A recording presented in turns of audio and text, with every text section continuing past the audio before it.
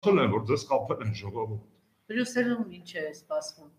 Արդեն ասացի, որ երբ որ պատրաստ ես օջախը վաճառել, բոլոր բրոկերներ ուզում են մեջը տոկոս մտնել։ Ակնհայտ է, չէ, որ այդ տոկոսի մտնելու մեջ բոլորը իրանց շահերն ունեն։ Մի բան կանխատեսելի է, որ վիրավորականը, բայց էլի քարկ ասածո գոնե այդ մի 10 հոգին էլ հետ գան, վիրավորական այն փաստա, որ մեր երեխեքին, մեր զինվորներին, մեր ռազմագերին սարքել են բան աշխարհակաղակական նվեր այսինքն հանդիպում են Բրյուսելում Բաքու, Երևան, Բրյուսել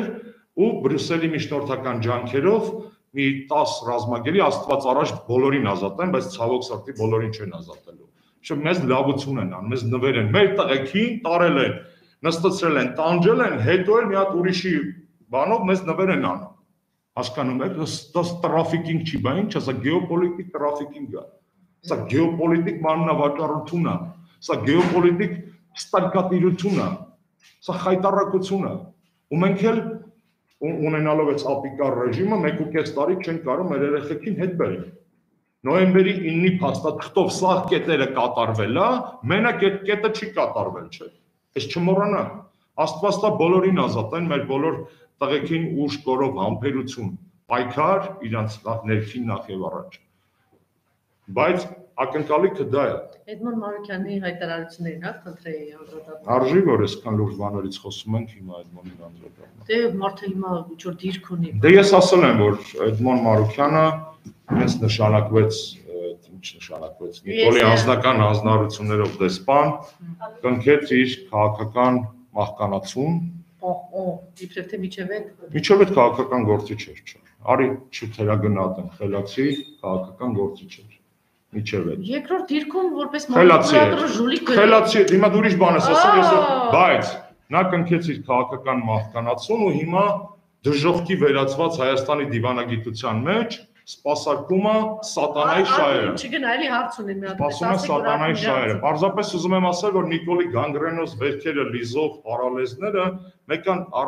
նույն ճակատագրի են արժանանալու, ինչ որ իրենց այդ քաղաքական դիակը, որի գանգրենաները նրանք բարբերաբար փորձում են լիզել, որ հանկարծ շուտ չմեռնի, իրանց մի բան հասնի այդ։ Շատ դրամատական հարց են, ալվարն ասոցիան, որտեղ երբ որ էլի հանրահավաքի մեծ թվով մարդիկ են մասնակցում։ Փաշինյանն ասաց, որ այդքան չեն հայն ավելի շատ են, ինչ գրքում եք կա։ Ասի եթե մի միլիոն էլ դուրս կա, ասի 10 միլիոն են հայ։ Հա,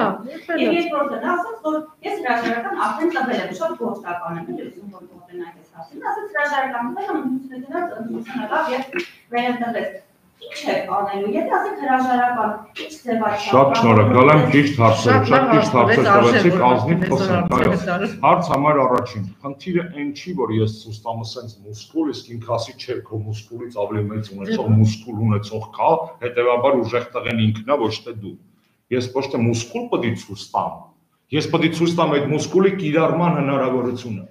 Սա տարբեր բաներ են Ես չպետք է տեսնելու ենք մենք այսօրվանից։ Այսօրվանից սկսած այդ process-ները պետք է սկսեն։ Հասկացաք, ես ոչ թե կուլտուրիստ պետք է խաղամ, մամ ջանս սիրունացնեմ, գամ տենց յուղ յուղ կսեմ, ասեմ տես ինչ փայլուն տղա եմ։ Այլ ես մկանո պետք է կիրառեմ։ Այդ եթե Նիկոլ Փաշինյան այս ազգային օրակարգը, որ այսօր պետք է բյուրեղանա ձևավորվի, այդվի ու լեգիտիմացվի հանրահավաքի մասնակիցների կողմից որպես ժողովրդի պահանջ։ Եթե այս օրակարգը չարտացոլվեց, իսկ ինքը չի արտացոլելու ակնհայտ է, չէ, ապա իրեն հեռացնելու ցանկացած միջոց լեգիտիմ է։ Եվ այս մուսկուլը այստեղից այստեղ վերածելու գործողությունը լեգիտիմ է, պահանջված է ու հիմնավորված է։ Եվ վերջին հարցը հանրահավաքի հետ կապված, երբ հայրենիքի պետության շարժումը մեկնարկեց, հասարակությունը մեծ հույսեր էր կապում այդ շարժման հետ, սակայն ինչ-ինչ պատճառով իր վերջնանպատակին չհասավ։ Հիմա խնդրին հանրահավաք է գրավելու հարցով նախքին փորձից սկսել խաղել եւ այս անգամ պայքարը տևելու է 1 օր թե մինչեւ վերջնանալու։ Ես արդեն ասացի, որ այս պայքարը ճտիկը միացնելու պայքար է, այսինքն պետք է process-ներ միանան կասկադային process-ներ, հա, դոմինոն ոնց է, պետք է sense մի հատ քար ընկնի, sense հերթով ընկնելով գնա։ Այդ մի հանրահավաքով մի անգամից սաղանալ չի լինի, բայց հանրահավաքի ճիշտ էներգետիկայով, ճիշտ օրակարգով, մարդկանց նվազագույն պահանջված քանակով հնարավոր է այդ ճտիկը միացնել։ Հնարավոր է այդ ճտիկը միացնել։ Եվ նորից եմ կրկնում, ես ես անցյալ պայքարին դեռ ծառայում էի, կեսից եմ միացել ՀՊՇ-ի պայքարին, հա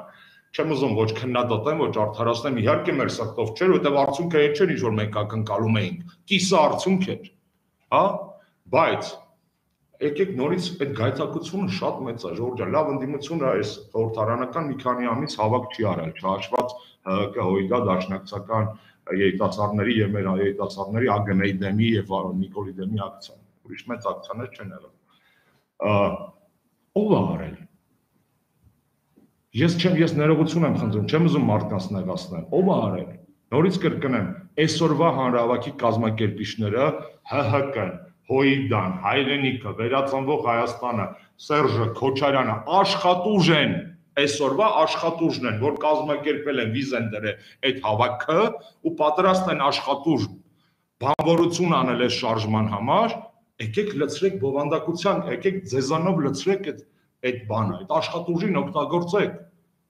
այդ աշխատուժին օգտագործեք եւ Սերժը եւ Քոչարյանը քանիցս ասել են որ իրանք ոչ թե իշխանապողություն են ուզում որ իշխանություն գան Բայց ի՞նչ բան կա դրա մեջ։ Բա չկան իրականացնել ինչպես։ դուք շատ լավ գիտես որ հասարակության մեջ զգալի մասի մոտ կա այդ ֆոբիան ինչպես ֆոբիա կա պատերազմ խաղաղություն երկընտրանքի մեջ ֆոբիա կա նախկիններ ներկաներ երկընտրանքի մեջ չխափենք մեզ հասկացա ես իմ նախագահին եմ օգնում երկրպագում դու քո այսպես ասած բայց այդ կապ չունի հա ուզում եմ ասեմ այս բանը այո ես այդ այդ ակնածանքը ունեմ by default այսպես ասած աշխատանքի իմաստով մենք ունենք այս հնարավորությունը եկեք ձեզանով լցրեք ժողովուրդ ջան նորից կրկնեմ սա վեր քաղաքակ վեր կուսակցական Շահարկվեց այն, որ Ռուսաստանի Դաշնության Հայաստանի Ռուսաստանի Դաշնության, հա, դեսպանը չի հանդիպել հանրապետական կուսակցության հետ առաջնորդներ։ շարքում է Հա երևի խոսքը գնում այն մասին, որ երեք լրահոսում գնաց հա։ լուր, որ հանդիպել է Լևոն Տեր-Պետրոսյանին եւ Հայաստան Դաշինքի պատգամավորն էին, ու մեզանից լուր չկար, դա ի նկատումն է։ Նա Սերժ Սարգսյանը բարբերաբար, Սերժ Սարգսյանը բարբերաբար հանդիպում է